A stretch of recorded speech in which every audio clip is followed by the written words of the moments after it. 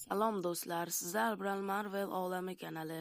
Agar kanalda yangi bo'lsangiz obuna bo'lishni unutmang. Men bugundan Marvel olamidagi qahramonlarni birga bir battle qilmoqchiman. Birinchi bo'lib battle qilinadigan juftlik qasosyorlarning yuragi Temur odam va unga qarshi eng kuchli qasosyorlardan biri chaqmoqlar ma'budi Thor. Ularni to'rtta yo'nalish bo'yicha solishtirib chiqamiz. Birinchisi kuch, ikkinchisi aql, uchinchisi tezlik, to'rtinchisi boshqa qobiliyatlar. Demak, boshladik.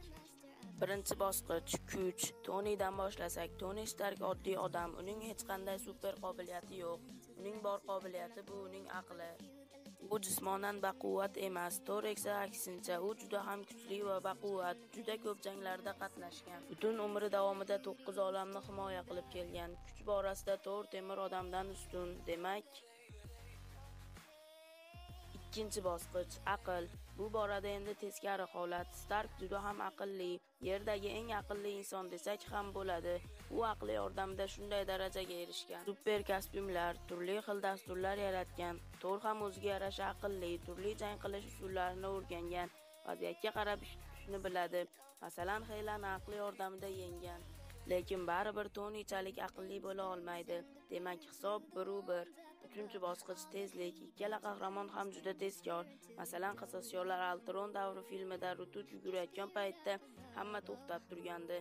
Faqat Tor harakatlanayotgandi. Bu Torning boshqalardan ko'ra tezkorligidan dalolat beradi. Temir odam ham kostyumlari bilan ancha tezkor.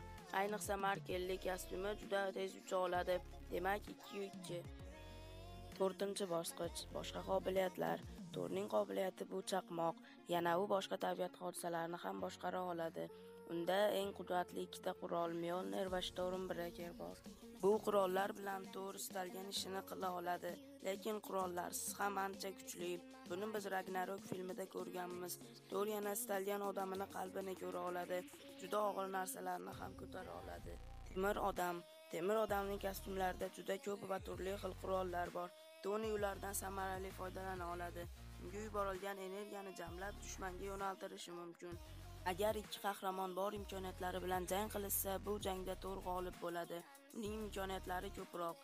Qasosyorlar intihob filmida ham ko'rdik.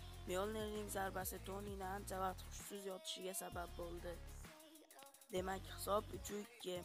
Bugungi battlda Odinning o'g'li Thor g'olib bo'ldi. Ushbu battle bo'yicha fikrlaringizni kommentariyada yozib qoldiring.